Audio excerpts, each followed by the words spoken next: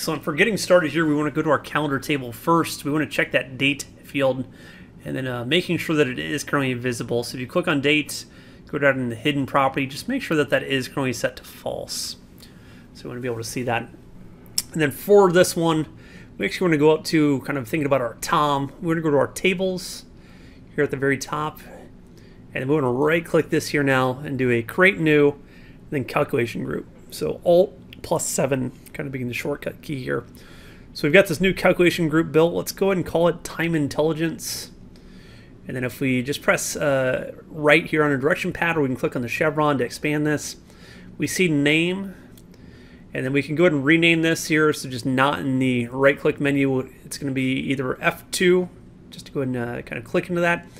Or you can just do the property page down here, the name. So kind of keep that in mind. So this one, let's go ahead and call this our time calculation. Press enter, we see that it's now been updated. And we want to add some calculation items here. So if we actually click on calculation items, and we uh, do the right click here, we can do a new calculation item. We're going to do this three times here. So we're going to add three new items to this calculation group.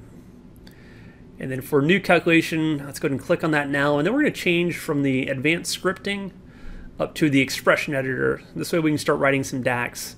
Uh, just unfortunately no IntelliSense, so you'll just have to you know, maybe do this in DAX Studio or Power BI, but calculate, and we're going to do this new measure here called selected measure, just to open parenthesis, close parenthesis.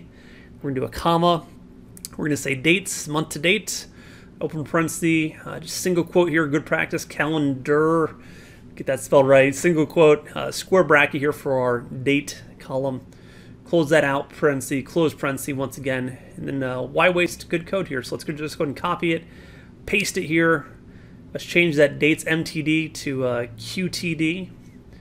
Let's change this one from MTD to YTD. So now we've got kind of this MTD, QTD, and YTD. Let's go ahead and rename these. Uh, so new calculation, remember F2, we're going to just do it over here. I'm just to press F2. Uh, let's type in MTD, go down F2, press, and then let's type in QTD one more time, F2, and let's do YTD. Cool.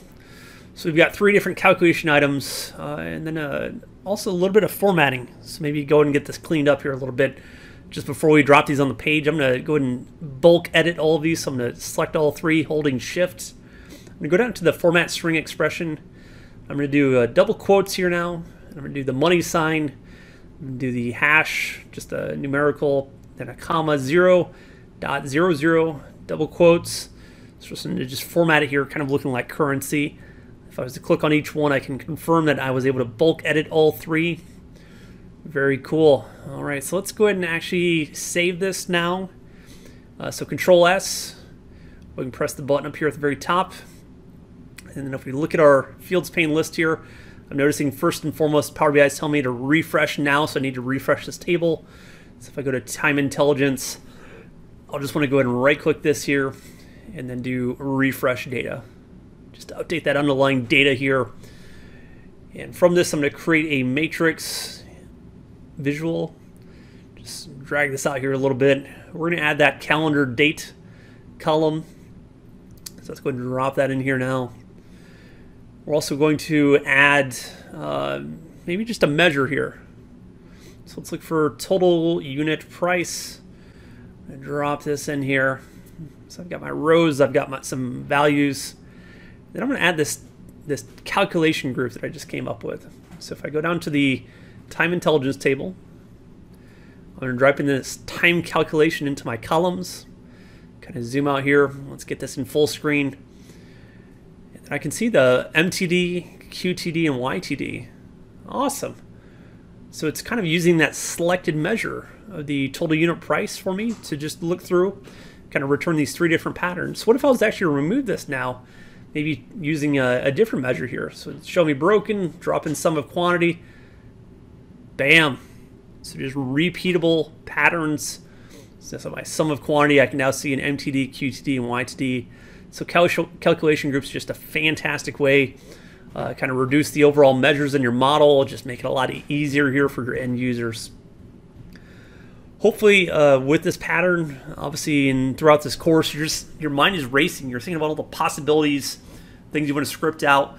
Hopefully you've seen now maybe some things will be just be easier to just do them by hand real quick like in this example. Maybe time intelligence and kind of these calculation groups you actually want to script out maybe seeing about writing that advanced scripting which is why i want to leave you with this continue your journey section now that you're interested and you're excited to learn more here's some fantastic places to go to learn more. Power BI.tips, awesome YouTube series, some script snippets, uh, just people contributing, also with community scripts, and then SQL BI just to learn more about calculation groups. I hope you've enjoyed your time. Thank you again.